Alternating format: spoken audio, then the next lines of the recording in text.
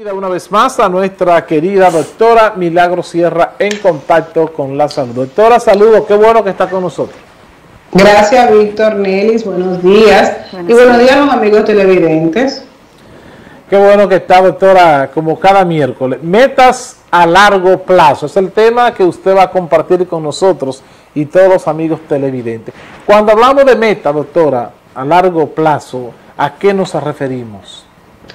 Mira, Víctor, nosotros tenemos dos tipos de metas. Una meta que tú utilizas para construir algo en un corto tiempo. por ejemplo, para el mes que viene voy a, viajar a tal sitio y tú haces como todo un preparativo en un proceso rápido y es lo que se conoce como metas de proceso. Por ejemplo, tú comienzas un nuevo semestre en la universidad y tú dices, para este semestre yo quiero sacar A en todas las materias. Eso es una meta corta de proceso en la cual tú le vas a ir desempeñando a través de un proceso que tú estás viviendo en ese momento. Y hay una meta a largo plazo que son las metas de vida, que son básicamente eh, necesarias para cumplir en un plazo mucho más largo y por eso es que nosotros hablamos de metas a largo plazo el día de hoy porque a veces nosotros siempre nos vamos a plantear metas dentro de ese año, pero quizás no todas caen dentro del renglón de la posibilidad de cumplimiento de que se dé en ese año. Entonces, a veces una de las cosas que nos eh, desmotivan de la meta es sentir que pasó el año y no cumplí lo que yo quería. A lo mejor lo que tú requieres es hacer una meta a largo plazo y fragmentarla en años y decir, para este año, la parte de mi meta que es posible es esta primera parte. Y a lo mejor eso te da una visión mucho más realista de qué es lo que tú quieres alcanzar. Por eso en, cada año nos podemos plantear metas de proceso para ese año o metas a largo plazo, porque al final la forma adecuada de tú plantearte una meta es básicamente decir, al final, cuando yo termine mi vida, ¿qué es lo que quiero ver? Y eso es lo que quiero hablar en el día de hoy con ustedes. ¿Qué es lo que tú quieres ver al final de tu vida? Doctora, usted decía ahorita, compraron sus agendas. ¿Qué implicación, tiene esto? Yo, le, yo les quiero mostrar mi agenda aquí, mira, aquí está, personalizada. Es una agenda este, muy práctica que yo utilizo mucho porque tiene justamente lo que estamos conversando el día de hoy.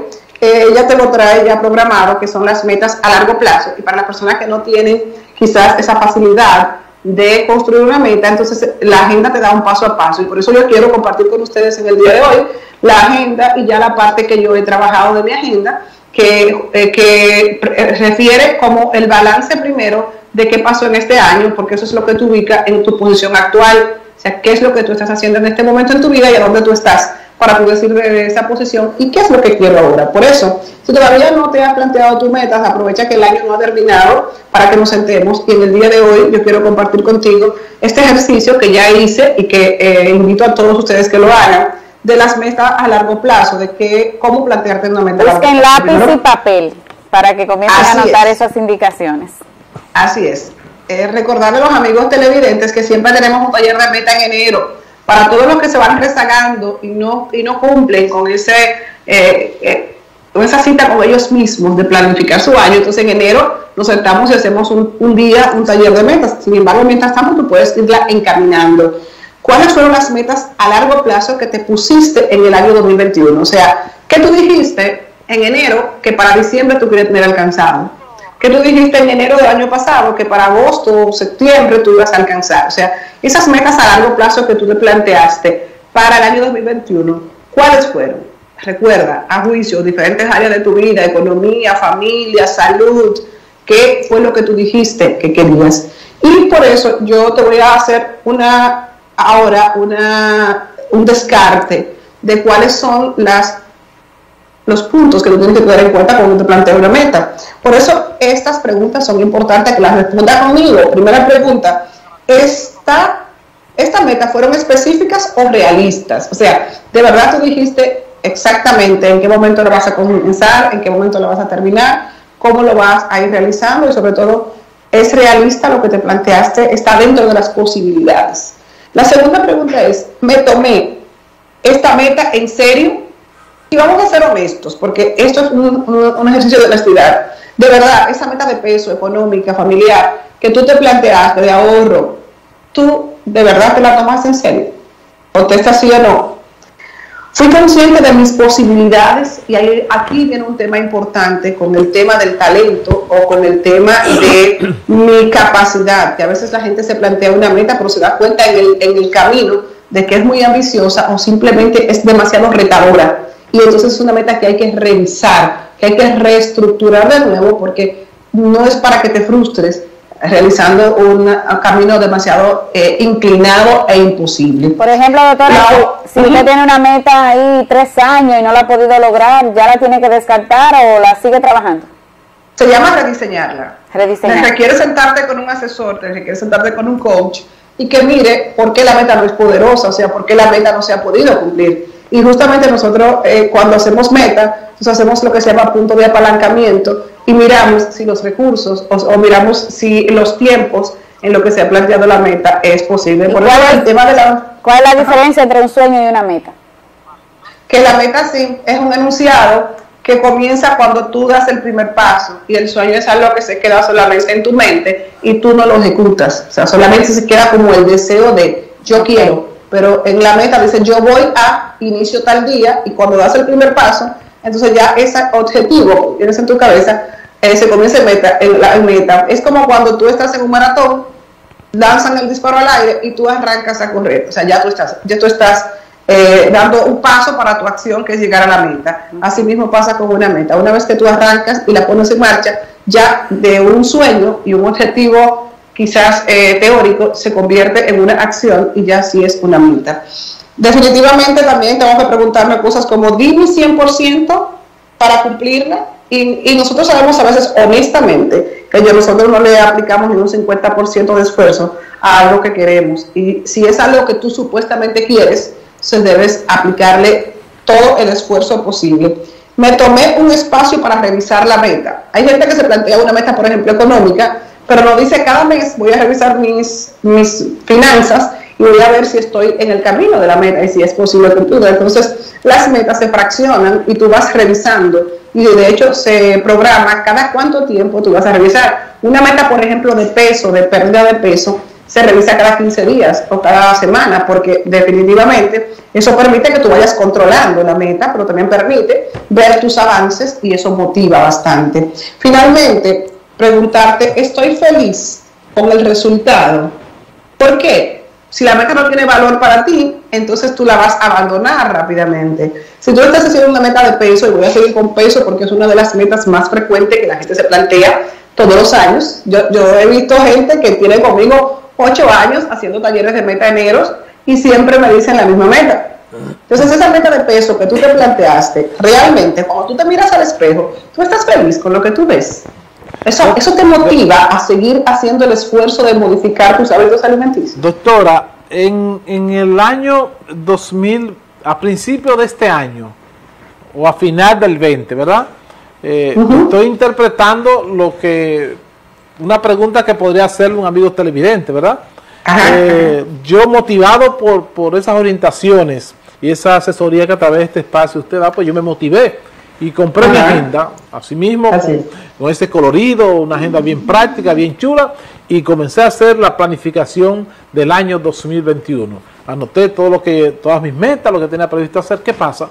Que llegó el, a final, el final del 21 y va a llegar el 22, y yo esa agenda todavía solamente lo tengo con esas metas que me planteé, y voy a usar esa agenda de nuevo para el 22. Es eso... Eh, eh, recomendable utilizar la misma agenda que yo compré a final del 20, ahora para el 22? No es recomendable. Yo pienso que la única utilidad que podría tener tu agenda del año anterior es para ser, de memoria, de servirte de recordatorio de lo que tú no hiciste. Es la única manera que yo la utilizaría como un ancla visual que te comprometa a decir, este año 2021, esta agenda nueva no se va a quedar vacía porque así está tu vida. O sea, realmente cada hoja de tu agenda, hazte cuenta que es un año donde cada agenda es un día de tu año.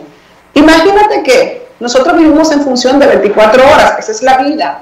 Tú no tienes la certeza de años, tú tienes la certeza de que está vivo hoy. El ayer no existe, el mañana es incierto. 24 horas para vivir. Y si en estas 24 horas tú no la aprovechaste, mañana esto ya no existirá.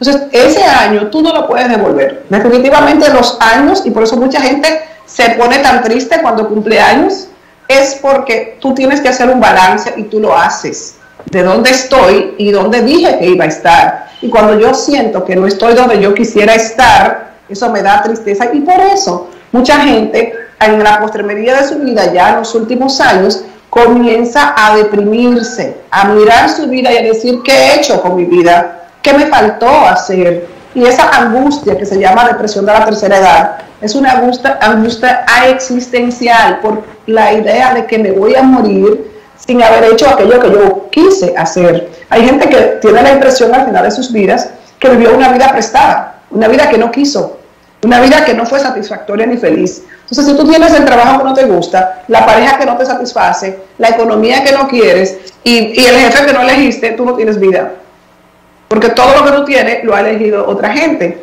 Entonces es muy, importante que comencemos a, darnos este, esta, esta revisión. Y un año, así como cada vez que cumplimos años hacemos básicamente una, un balance de dónde estoy, lo que he conseguido, lo que he perdido, lo que he ganado, un fin de año también es una época muy propicia porque marca un ciclo la, vida se cuenta en años. Entonces, se va el año 2021, se fue el 2021, y uno de los ejercicios que hacemos y que vamos a hacer con ustedes antes de terminar el año es soltar lo que no funcionó del año. Y para eso tú tienes que dejar ir todo lo que hiciste y lo que no hiciste. Doctora, y para planificarse así, con, con esa programación, va a la redundancia, a principio de año o a final de año, para eh, recibir el que para iniciar correcto. no, no, importa el nivel no importa la, razón social a la que usted pertenezca. O sea todos todos en sentido general debemos planificarlo no importa porque todos debemos tener como seres humanos todos debemos tener metas en la vida y de hecho todos lo tenemos Víctor. Lo que pasa es que muchos las hemos abandonado. O sea todo el mundo tiene un sueño. Lo que pasa es que mucha gente lo ve o muy efímero o muy difícil es como si fuese una alta montaña, se para en la, en, la falda de la montaña y dice, no, yo no voy a subir esa montaña. Tiene un sueño, pero lo sigue viendo siempre como un sueño. Y recordarle a las personas que nos ven que todos tenemos un sueño y lo que nos atrevemos a emprender, entonces lo que hacemos es pagarle a los demás para cumplir nuestro sueño. Pero si tú no tienes un sueño que cumplir, entonces tú estarás trabajando tu vida entera para cumplir un sueño a otra persona. Doctora, ¿no existe edad para planificar? Claro que no, Nelly, porque realmente mientras más temprano tú comienzas, más posibilidades de conseguir lo que tú quieres. Sin embargo, hay una edad, por ejemplo, la edad ya de madurez en tu vida, permite la responsabilidad como un factor son proyectos maduros que no a mí me encanta a mí me encanta trabajar con las personas que están en la tercera cuarta década de la vida. Eso no significa que a mí no me emocione por ejemplo hacer un taller de metas como adolescentes y mirarlos soñar, o sea, mirarlos romperse el pecho y decir, yo voy a tener una, una isla privada, yo voy a tener un mall, yo voy a tener ya. Yo voy a doctora, yo voy a organizar uno para que usted lo dé con los adolescentes. Perfecto, de hecho, eh, quiero que año, desde ahora, sí, desde ahora vamos a estar trabajando el proceso de apoyarlos por los diferentes medios a que la gente se programe, pero yo sé que esto no es tan fácil. Realmente un coach se pasa contigo el año entero apoyándote en, las, en, lo que son los lineamientos y, las, y redireccionándote, porque nosotros somos como el GPS de la gente. A veces la gente se pierde en la dirección y yo digo, ok, sentémonos, vamos a redireccionar, comenzamos de nuevo con el GPS, dime la meta, no, esa meta no está bien planteada, o ya me di cuenta de que no es posible, vamos a replantearla y vamos a fragmentarla, o sea, todo el año tú te tienes que pasar el tiempo revisando tus metas y sobre todo preguntarte por qué no la pudiste lograr. Y tú sabes lo que, lo que yo he descubierto, y es un ejercicio que hago con frecuencia, que yo pongo a las personas a leer sus metas y en el tono que utilizan es tan poco convincente que ni siquiera ellos mismos están convencidos de que quieren eso. Imagínate el que te está escuchando, el que te está viendo y al que tú le estás vendiendo ese sueño. Si tú quieres poner un negocio y tú no crees en tu negocio y tú vas al banco a explicar al gerente que te tiene que, te, que tú requieres un préstamo, el gerente no te va a creer. Va a salir, el gerente va a, convencer. Así es. Así es. Doctora, gracias, gracias como siempre por compartir esos temas sumamente interesantes y sobre todo edificantes y orientadores para toda nuestra teleaudiencia. Gracias, doctora, por estar con nosotros. A ustedes recuérdense que la semana es próxima, entonces seguimos con las metas a mediano plazo. Así es. Metas a largo plazo fue el tema que compartió la doctora Milagro Sierra con nosotros en este segmento en contacto con la actualidad.